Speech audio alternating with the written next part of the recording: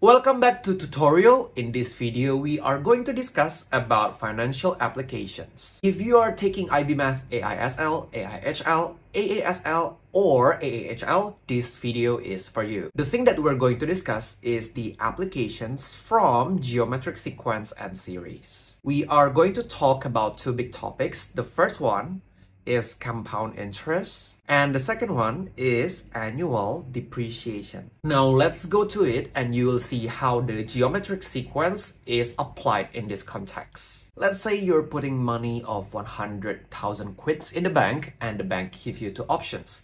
The first option is that you will get an additional of 2,500 quids every year. The second option is you to get 2.5% of your initial money every year. So the first time you put it, it is 100k on each case. On the simple interest, your money is just being added by 2.5k every year.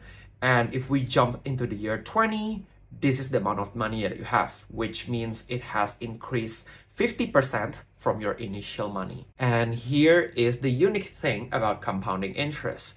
So from initial money, the next year you get additional 2.5%. So it is still the same amount of the simple. But then when you're moving on to the year two, the additional is 2.5% of the 102,500. So instead the initial value is 100k, the initial value is based on the amount that you have before that year. And which means that the 2.5% is always based on the initial value you have before. So this implies that we have a geometric sequence with the ratio of 100% plus 2.5%.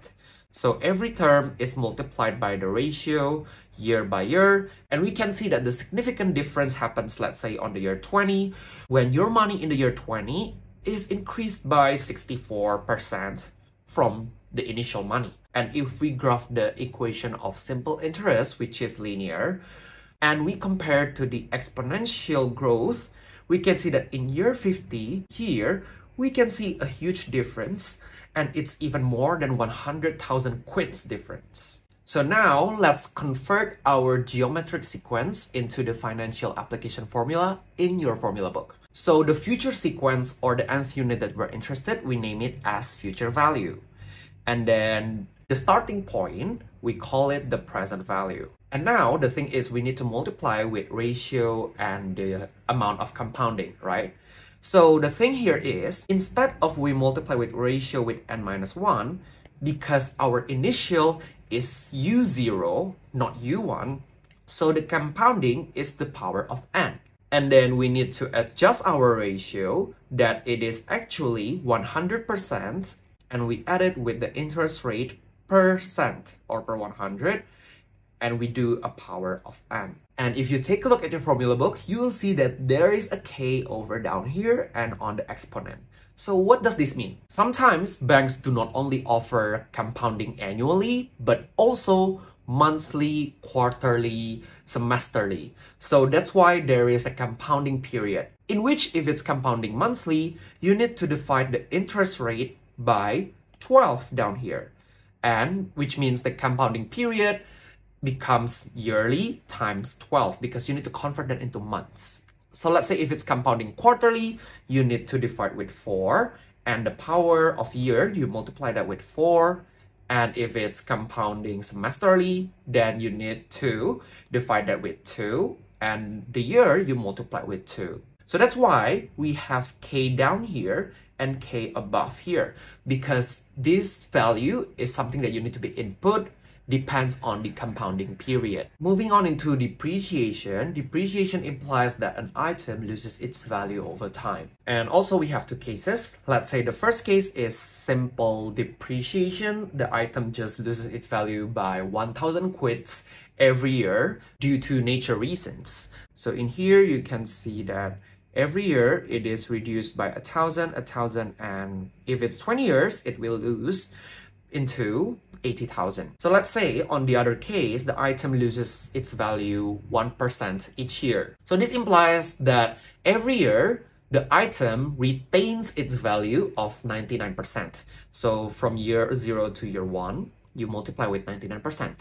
And then from year 1 to year 2, you multiply with 99%. You do that continuously, and let's say we go to year 20, we can see that the item retains more value in the compounding annual depreciation rather than in the simple depreciation.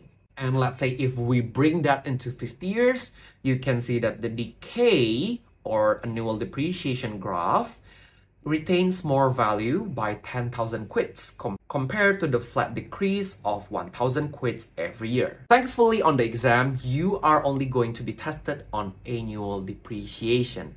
So it's never going to be monthly, not quarterly, and not even semesterly. So going back into decrease of 1%, this implies that the ratio that we keep is 100% minus the depreciation rate. So if we are talking about the future value from annual depreciation, it means that we need the present value, the price now, and then we multiply with the ratio, which is 1 minus the depreciation rate over 100 power the year. Again, we're not having the k down here and in the exponent because it will be always equals to 1. You don't have this formula in the formula book, but you can adjust it from the previous one by changing the plus into minus symbol because this is depreciation and you can remove the k because it is equals to 1 as it is annual. For the sample practice, you can watch my previous videos that I will attach the link here and I just want to share you some notes how to do it on your calculator. So the first is definitely you need to have the technology apps, which is TVM solver, time value of money. And when you go into the directory, you need to always keep the interest rate in annual and put your K, the compounding period, on C slash Y. And in these cases, our compounding per year is equals to the payment per year. So if K is 6 over here, it is also 6. If K so let's say if k is 2 over here, it's also 2. If it's 4, 4, 12, 12. Interest rate is always in annual, but then, because this is the big N, you need to multiply it with payment period per year. So let's say if this is equal to 12 and you're going to do that to 5 years, so the big N is not 5, but 5 times 12, which is 60. If you want to take a look on how it works, you can definitely, again, watch the video that I have made previously. The number four is sometimes students worry about the plus minus symbol in the calculator when they solve for present value or future value. The best use practice for this is let's say if you're putting money to the bank, okay, your the money moves out from you, so you use negative symbol on the present value. So then it will give you a result of positive future value. If it's the reverse, let's say you're taking a loan, the present value is positive. So then the future value is negative because it is something that will be out from your pocket in order to pay the debt. Regardless, you need to finalize your answer in the statement and always in the positive value of money. Hope this video is helpful for you. If you need more practice, tutoring, and mathematical supports, you can definitely comment down below and click link on the description.